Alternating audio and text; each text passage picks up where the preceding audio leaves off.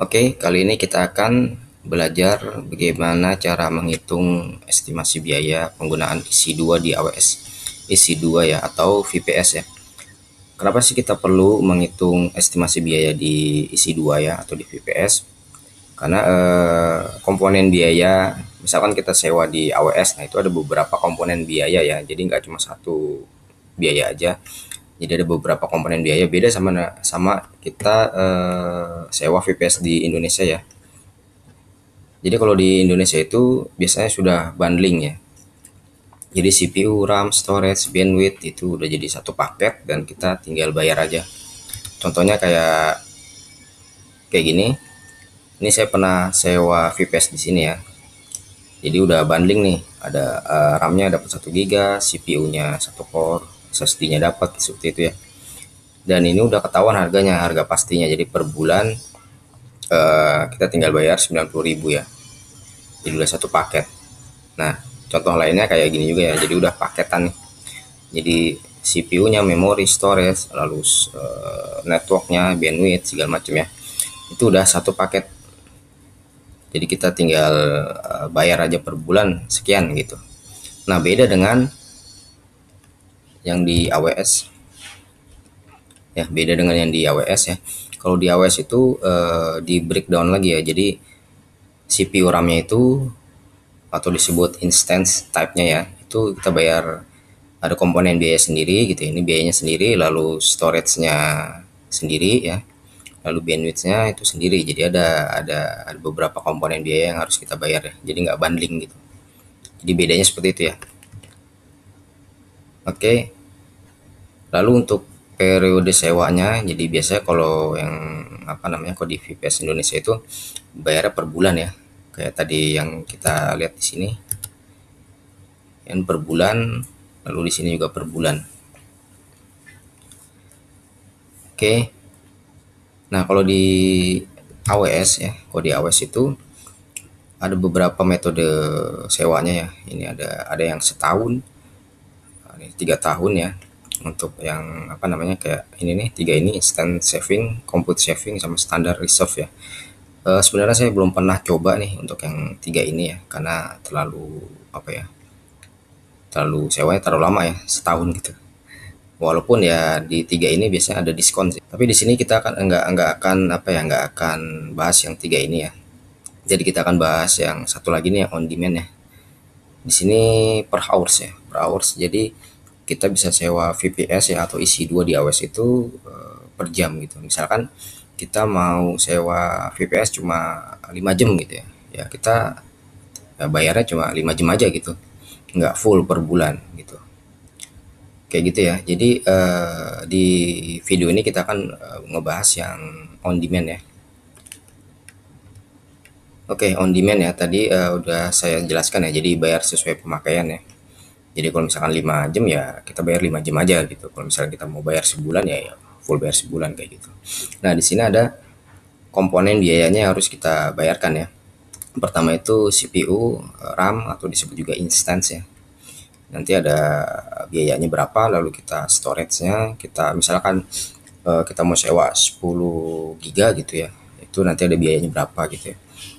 Lalu uh, bandwidth-nya ya untuk uh, transfer apa namanya internet kayak gitu itu juga nanti dikenakan biaya. Lalu untuk yang terakhir itu biasa ada tax ya, ada tax itu 10%. Biasanya itu eh, PPN lah gitu. Jadi dari total apa ya, apa yang misalkan kita sewa eh, sebulan, anggaplah eh, 100 ribu gitu ya, nanti otomatis PPN itu 10% gitu, berarti jadi 110 ribu gitu kita bayar ya. Jadi seperti itu, jadi kita nanti akan fokus ke empat ini ya, instant, EBS, bandwidth sama taxnya itu. Oke, uh, selanjutnya sebenarnya kita uh, di sini kita akan coba menghitung biaya estimasi ya untuk yang on demand gitu ya. Kita akan memanfaatkan fitur AWS Pricing Calculator. Jadi di AWS itu udah tersedia ya, sebenarnya udah tersedia toolsnya, tools untuk uh, menghitung estimasi biaya ya. Misalnya kita kan apa namanya mau sewa VPS EC2 nanti kita bisa estimasikan di situ gitu. Nah, di video kali ini kita akan mencoba kita menggunakan tools ini ya AWS Pricing Calculator seperti itu ya oke langsung aja kita coba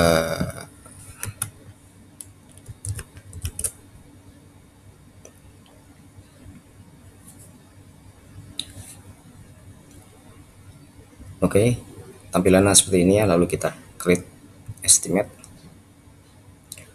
Nah, di sini ada banyak banyak banget nih sebenarnya uh, service-service dari Amazon ya. Jadi kita bisa mengestimasikan sesuai apa yang kita apa ya kita sewa gitu. Nah, contohnya kan di sini kita akan uh, menghitung biaya sewa isi dua ya.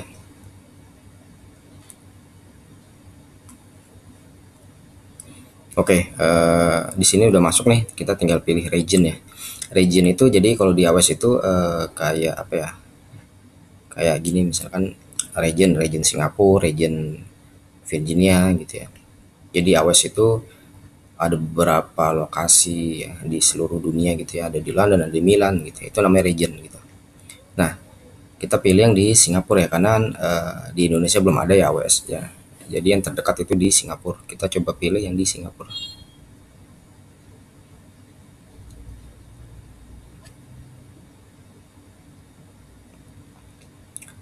oke.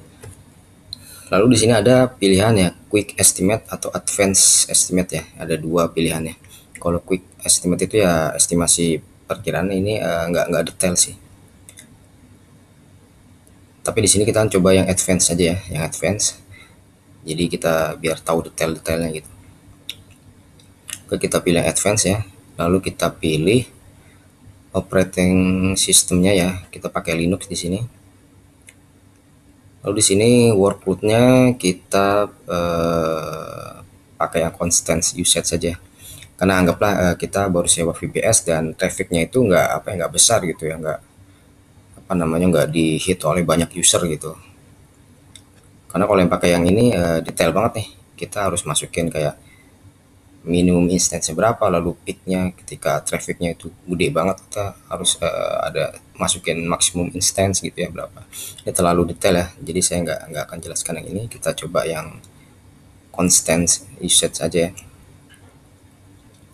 Lalu di sini uh, masukkan uh, total instance-nya atau total VPS yang kita mau sewa ya.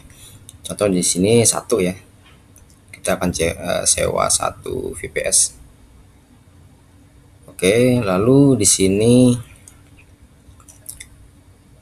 kita pilih uh, pertama tuh kayak apa namanya instance type-nya ya. Instance type itu uh, tipe-tipe instance-nya. Nah, di sini ada banyak nih. Jadi kita mau sewa yang kayak gimana nih? Misalkan uh, kita butuhnya uh, CPU-nya satu atau memorinya berapa gitu banyak banyak tipe-tipenya ya. Jadi kita tinggal cari aja. Nah, di sini saya akan coba yang T2 Nano ya yang nggak begitu gede. Jadi memori cuma 0,5 GB, CPU-nya satu ya. Seperti ini ya. Lalu biaya on demand-nya ini per hours ya, per jam itu 0,0073. Oke, kita scroll down lagi.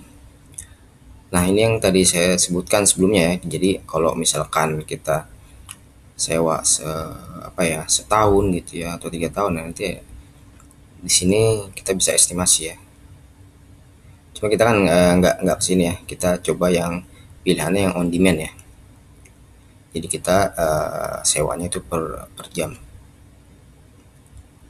Oke. Okay yang pertama jadi eh, komponen biayanya untuk instance ya untuk instance baru instance kita sewa satu instance lalu ini biaya per apa, per jam. Lalu biaya eh, dikali total apa ya per bulan gitu ya. Kita coba hitung ya. Per bulan itu 730 jam coba kita kita kalikan ya 3 31 hari kali 24 jam 744 oh, ternyata dia nggak nggak nggak nggak ini ya. Nggak 744 ya sekitar 730 oke okay. kira-kira kayak gitu ya. Jadi satu instance kali uh, biaya per jamnya berapa kali total per bulan ya. Anggaplah kita sewanya per bulan gitu ya full gitu per bulan. Jadi biayanya estimasinya itu 5,3 USD ya. 5,3 oke ini baru yang instance-nya. Lalu yang kedua ini kita sewa storage-nya. Storage itu di kalau di AWS itu namanya Elastic Block Store Block Storage ya atau EBS nah di sini kita akan menyewa hmm, yang SSD ini ada banyak pilihan sebenarnya. GP3 ini banyak banget nih. Semakin ini kayaknya lebih lebih lebih mahal ya tapi kita pakai yang GP2 aja nih yang SSD semakin mahal biasa semakin ngebut gitu ya SSD nya kita pakai yang GP2 aja lalu masukkan uh, total storage nya misalkan 10 ya 10 giga. Di sini ada snapshot snapshot frekuensi ya. Frekuensi itu maksudnya snapshot itu uh, untuk apa ya untuk backup gitu. Untuk backup. Jadi misalkan storage kita uh, 10 GB nanti kita misalkan ada snapshot ya kita aktifin nanti akan nge-backup gitu ya nge-backup file-file yang ada di storage tersebut gitu. Nah cuma uh, di sini uh, saya kan nggak nggak gunain storage apa snapshotnya ya. Karena kita uh, belum butuh lah belum butuh buat apa backup kayak gitu ya. Oke okay, uh, ini estimasinya ya. terus 30 total isi 2 per hours ya. Dibagi 730 per month ya. Karena kita cuma sewa satu aja saya satu satu instance. Oke jadi di sini nanti dikali satu instance ya. Karena kita cuma satu satu instance saja dan di sini tadi kita uh, sewanya 10 ya 10 giga berarti 10 kali satu instance kali 0,12 ini per apa ya per per giga. Jadi per giga itu 0,12 gitu ya. Jadi uh, estimasinya sekian nih. Jadi 10 giga itu sama dengan eh, 1,2 USD gitu ya. Oke ini biaya biaya storage-nya. Jadi kita udah menghitung tadi uh, ini ya instance type-nya lalu storage Oke, lalu yang ketiga data transfer ya. Data transfer itu kalau yang tadi saya sebutkan itu bandwidth, bandwidthnya ya. Nah, bandwidth di AWS itu ada tiga ya, ada ya uh, ada tiga jenis. Jadi inbound, inbound data transfer, intra region uh, dan outbound. Ada tiga. Nah, bedanya apa sih? Nah, kalau inbound data transfer itu jadi uh, traffic yang masuk ke instance-nya ya traffic yang masuk ke instance. Misalkan kita udah punya VPS ya di di di uh, AWS gitu ya. Lalu kita mau ngupload ya kita mau ngupload uh, misalkan video uh, sebesar satu satu giga ya.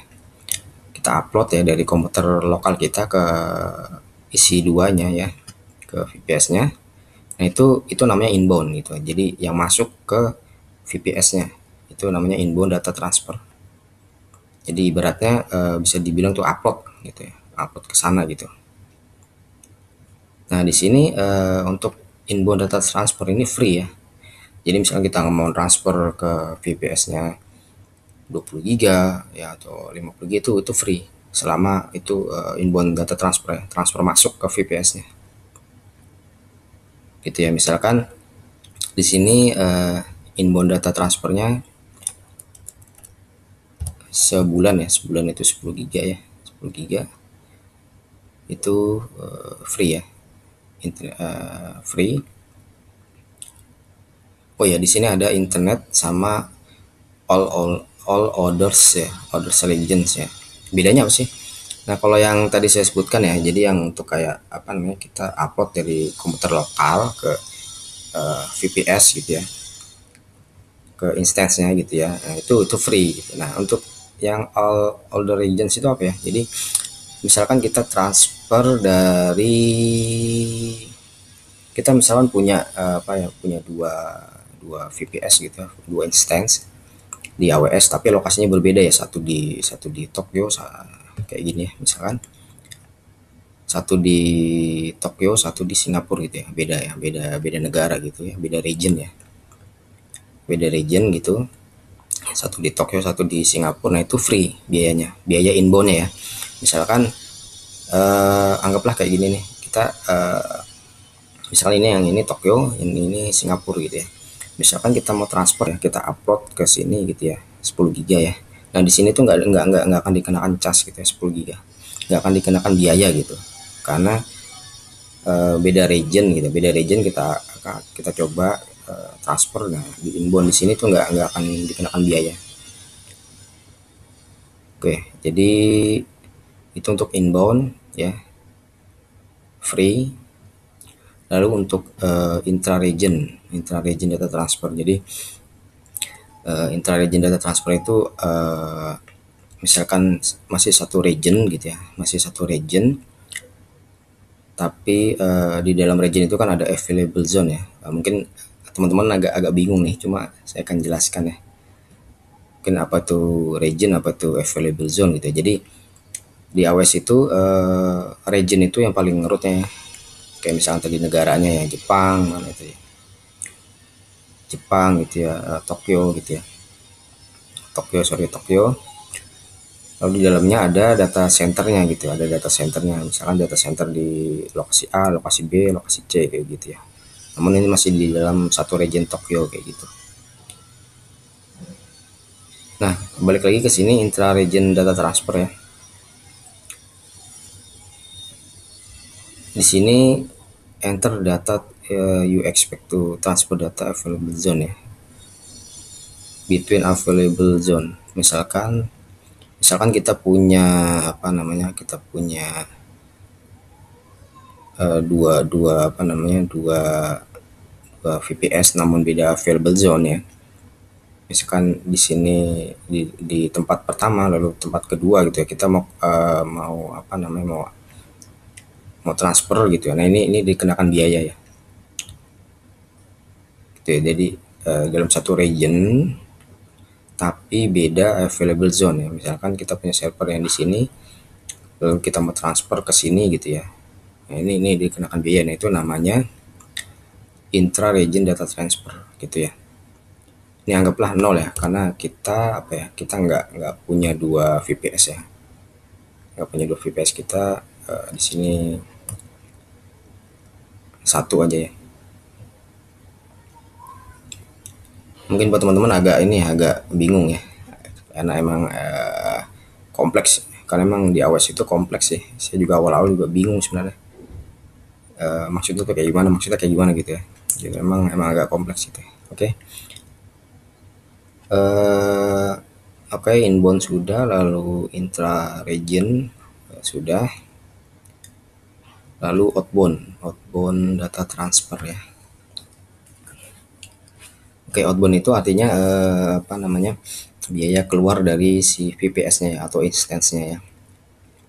Contohnya misalkan eh, misalkan di VPS-nya itu ada video yang tadi udah saya upload ya udah saya upload tuh 10 giga lalu saya pengen download gitu saya pengen download dari uh, lokal komputer gitu Nah, itu berarti kan eh, transfer keluar ya. Transfer keluar itu atau eh, datanya itu keluar dari eh, apa namanya? dari VPS-nya gitu ya. Itu namanya eh, outbound. Jadi data yang keluar dari VPS. Gitu ya. Ini sama dengan sama kayak kita download aja sebenarnya gitu. Kita ngambil data dari kita ngambil data dari server nah itu itu download gitu ya. Nah, ini dikenakan biaya per giganya itu 0,12 giga 0,12 giga oh sorry uh, 0,12 uh, USD per giga misalkan uh, data transfer keluarnya itu sebesar anggaplah uh, 2 giga ya 2 giga aja. 2 giga.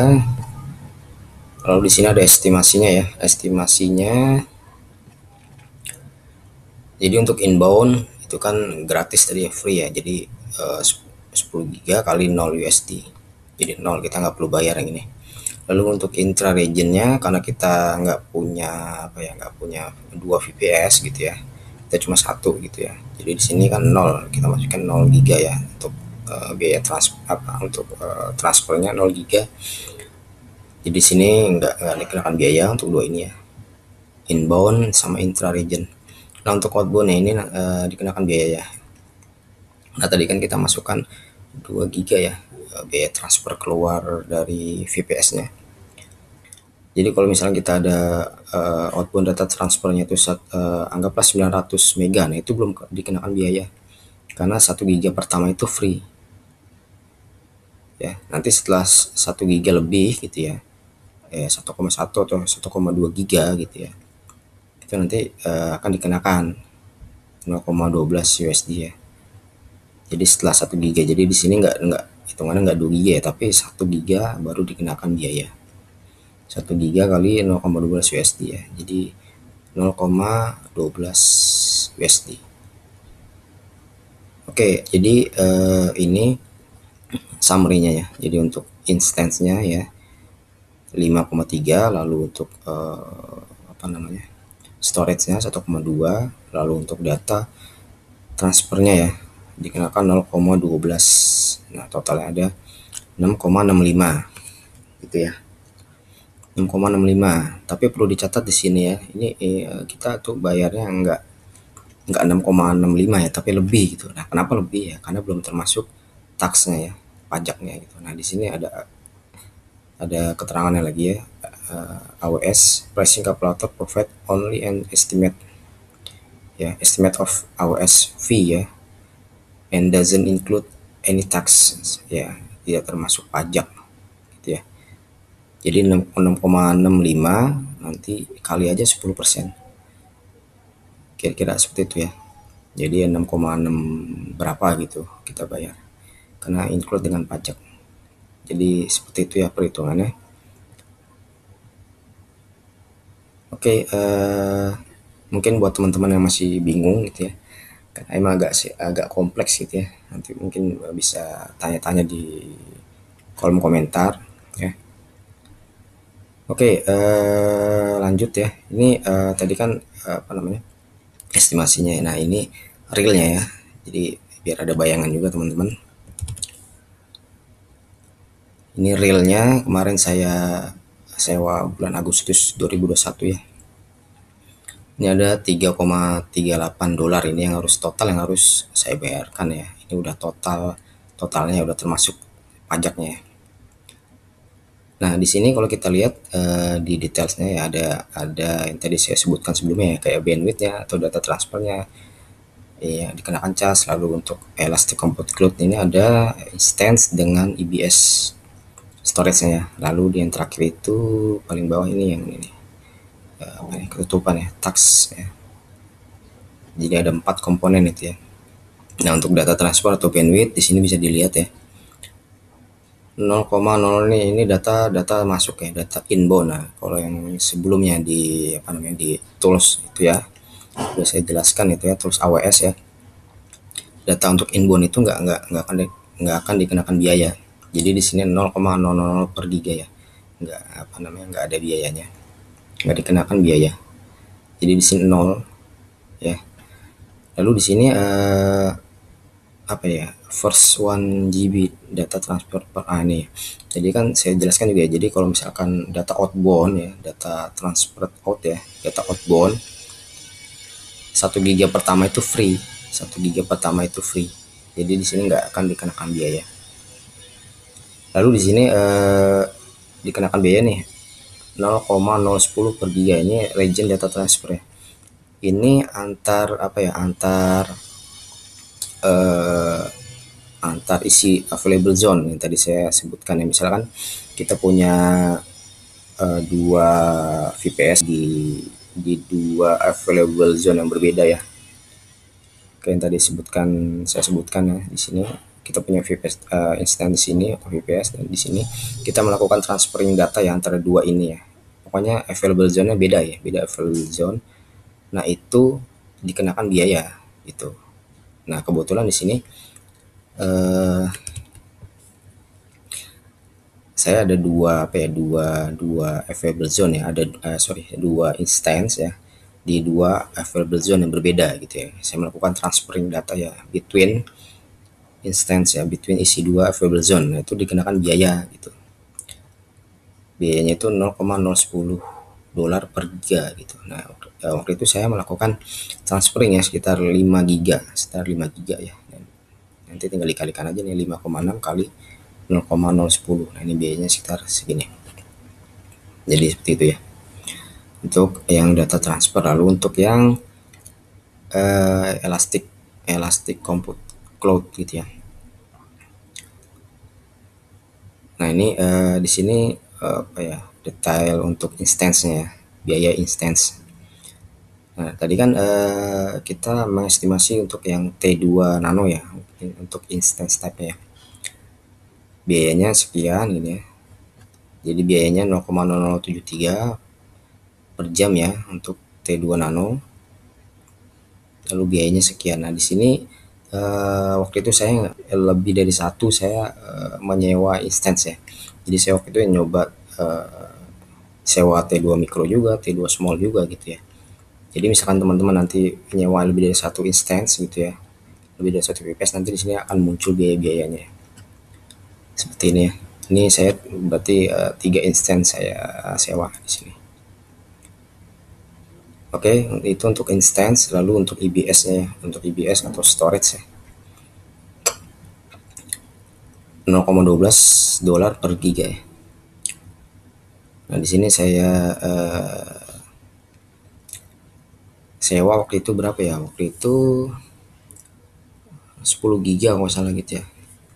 Nah kalau IBS ini eh, sewanya itu bukan bukan per jam ya jadi per per month ya per month jadi eh, misalkan 10 10 giga gitu ya. Nah ini ini kenapa nggak 10 giga di sini? Karena emang belum belum sebulan gitu belum sebulan. Jadi baru mungkin baru berapa ya? Baru 15 hari. Jadi di, di sini hitungannya baru 4,2 giga ya. Nanti uh, udah di akhir bulan gitu. Pasti di sini nanti akan 10 gitu. Misalkan teman-teman nyewa storage-nya 10 gitu.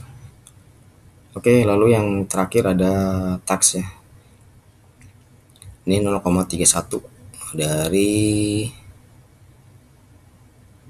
total ini nih. Coba kita coba hitung aja ya.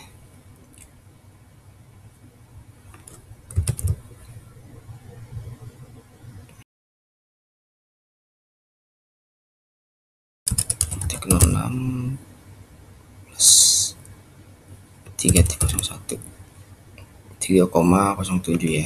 3,07 ya lalu taksnya itu 10% sekitar 10% berarti 10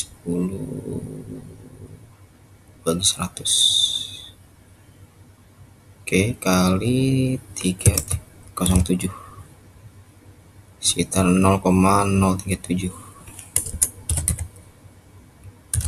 ini lalu berarti di plus 3.07 oke biayanya sekitar ini ini 3.37 di sini 3.38 jadi sepertinya ada pembulatan sedikit sih tapi nggak apa ya nggak nggak beda jauh oke uh, Oke mungkin uh, gitu aja ya tutorialnya. Mudah-mudahan tutorialnya bermanfaat. Sekian dan terima kasih.